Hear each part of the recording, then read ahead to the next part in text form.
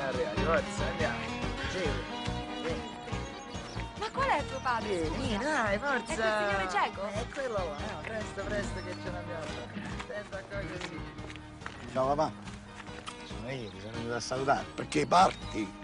Te ne hanno cacciato dall'Italfon. No, mi hanno trasferito, sede periferica, me ne va a caccare di Tirreno. Sempre ciecato. Mo, mo ci vedo, mi hanno promosso, sono vedente.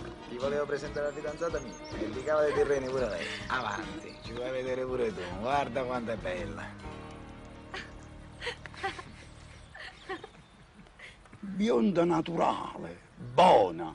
E come si chiama sta guaglione? Carlotta. Carlotta. Non mi piace.